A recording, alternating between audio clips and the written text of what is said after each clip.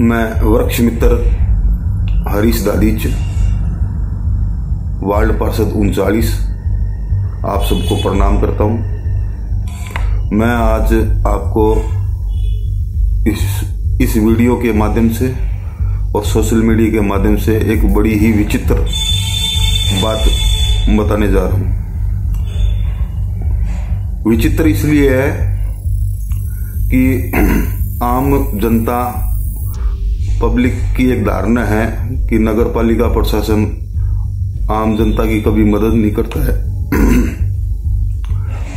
उनके सुख दुख में कभी साथ नहीं रहती नगर पालिका प्रशासन। कभी नगर पालिका प्रशासन भला नहीं करती। तो आपका सोचना ये गलत है। गलत इसलिए है कि नगर पालिका प्रशासन अपने खुद के कर्मचारियों के लिए ही नहीं सोचती। उनका ही भला नहीं कर पाती। अब आप सोच रहे होंगे कैसे? तो आपको मैं सिलसिलेवार तसल्ली से समझाता हूँ और बताता हूँ कि कैसे। आप सबने अपने अपने वार्डों में अपने अपने वार्डों के अपने अपनी गलियों के अंदर आपने देखा होगा सफ़ाई कर्मचारियों को सफ़ाई करते हुए। विशेष तौर पर महिला सफ़ाई कर्मचारियों को।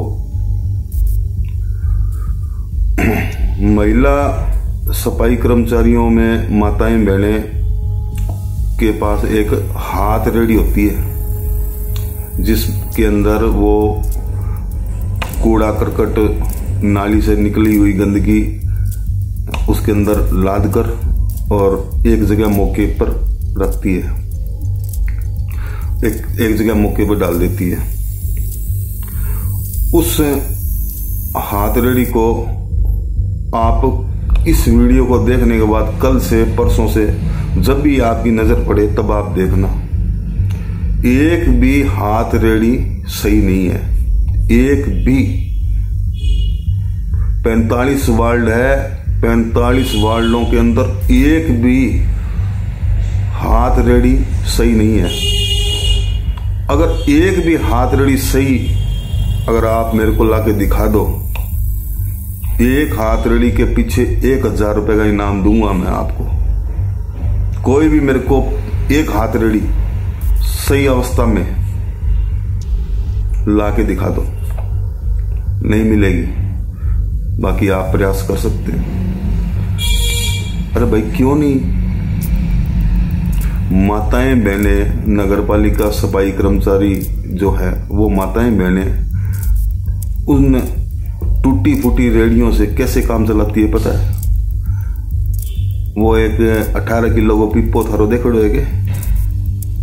अठारह किलो पिप्पो है पुरानो बिने यहाँ काट काट के काट काट के बिना चेप पे यहाँ तड़ा में भी तड़ा में चेप चेप गए फाइबर का टुकड़ा हुआ नहीं फाइबर का बे भी यहाँ नीचे लगा लगा गए लगा लगा गए ऐसे तो काम करती है। जब नगर पालिका प्रशासन अपने कर्मचारियों का ही नहीं है सगा तो आपका कैसे होगा? मेरी बात का विश्वास मत करो दोस्तों। एक बार कल सुबह, परसों सुबह जब भी आपको मौका मिले, जब भी एक बार आप गौर से देखना, गौर से देखना आपको इनाम है। एक हाथ रेडी अगर सही हो, एक भी तो आपको एक हज़ार रुपये मैं इनाम दूँगा।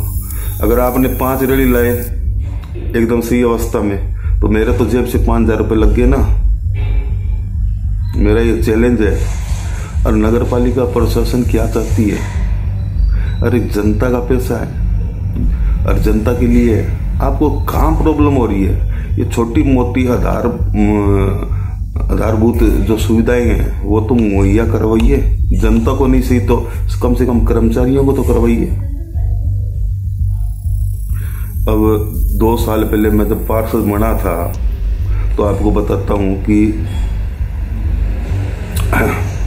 विवाह पंजीकरण के नाम पर नगर पालिका सिर्फ़ सौ रुपये लिए लिया करती थी। सौ रुपये की रसीद कटा करती थी। दो साल पहले।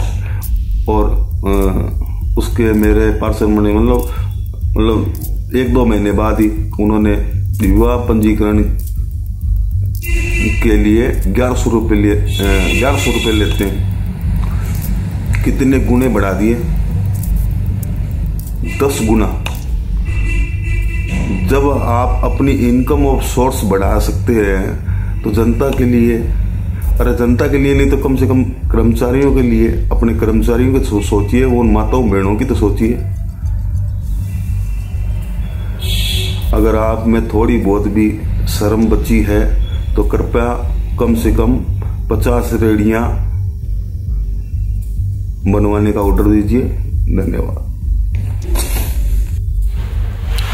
नमस्कार साथियों। मैं राजीव प्रताप सिंह, वृक्ष मित्र एवं वार्ड पार्षद नगर पालिका सूरतगढ़ से। हमने आठ नौ महीने पूर्व पालिका की बैठक में ये मुद्दा उठाया था। जो कर्मचारी होते हैं, सफ़ाई कर्मचारी, उनके पास हाथ की जो रेडी होती है, उसकी हालत बहुत ही ख़राब है और अतिशीघ्र हमें नई रेडियाँ बनवानी चाहिए।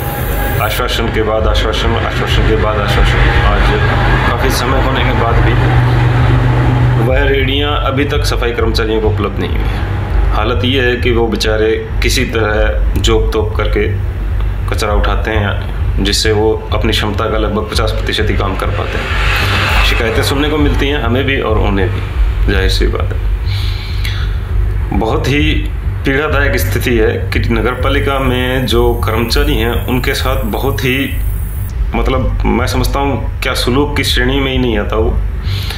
उनको दो दो तीन तीन महीने तनख्वाह नहीं मिलती, काम करने के साधन नहीं मिलते। ऐसी व्यवस्था मतलब समझ से परे है। मैं नगर पालिका प्रशासन शासी अधिकारी और अध्यक्ष महोदय से निवेदन करूँगा कि इस विषय में जल्दी ही, जल्दी जल्दी से जल्दी कोई ना कोई कार्रवाई अवश्य करें।